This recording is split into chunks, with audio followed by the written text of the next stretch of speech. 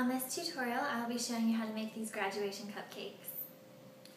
To make the diploma, I'm going to cut out some rectangles, and they don't need to be perfect in size or shape. And then I'll cut this one in half. So they're probably about some squares, and I'll just start rolling it like this.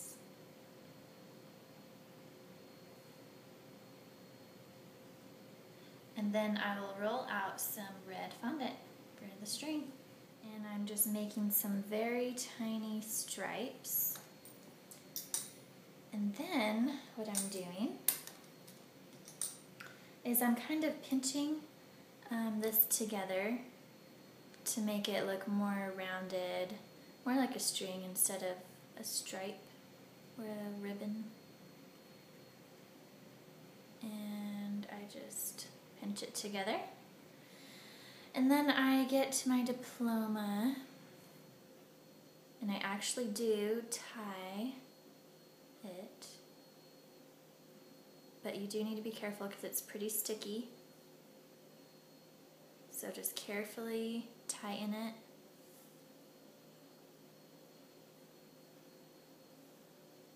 Like that. And you can pinch the middle a little bit to accentuate it more.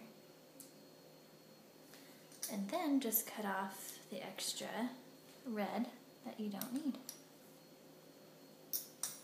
And do that for all of your diplomas. Alright, and to match my very cute inspiration paper, um, it has a lot of stars on it in the red, yellow, green, and blue. So I cut out some of the stars in that same color fondant, and these um, are star cutters in different sizes.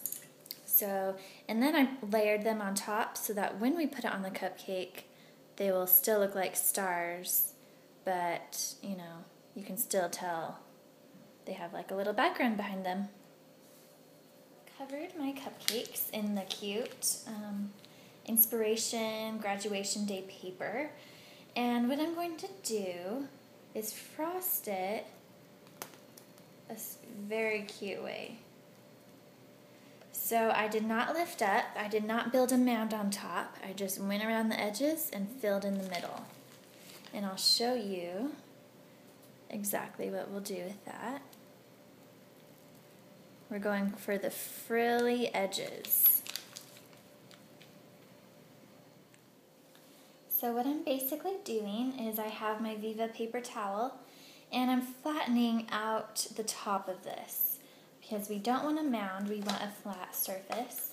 So I'm lightly pressing on the cupcake frosting and I'm slowly making it spread around and making it flat.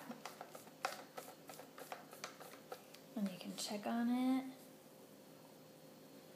Alright, and that will work. And that leaves us with like a frilly edge around the corner. And now we can start placing the stars on top. So I like to place a big one right in the middle, smaller, and then smaller from there. And you might need to add a little bit of frosting. Or you can also use some almond extract or even some piping gel.